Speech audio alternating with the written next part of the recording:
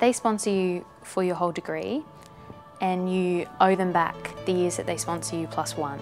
So my degree is four years, so I owe them five years.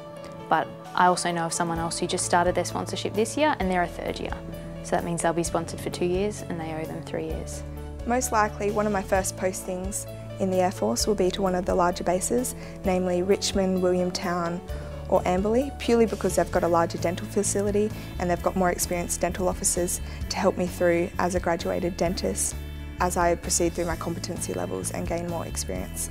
As with all officer positions across the three forces, there's always an option for you to be thrown into any job. So while I could enter and do um, system programming jobs, you know, I could do logistical jobs, things like that that, that don't need specialist um, techniques or specialist skills, I will for the most part be spending most of my time down in New South Wales at HMAS Albatross, as that's where the Navy's three aircraft squadrons are stationed.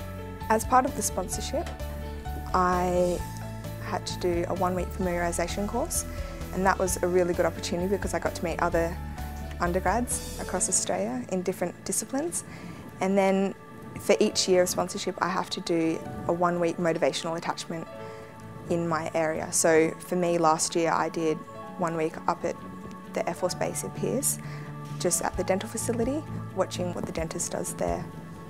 So that was a really good opportunity, especially for me in second year going into third year treating patients. I got to see how he interacts with the patients and the type of things that I'll be doing in my future career as a dental officer in the Air Force. I enlisted you know, a few months ago. Um, since I enlisted I haven't done a day of defence training.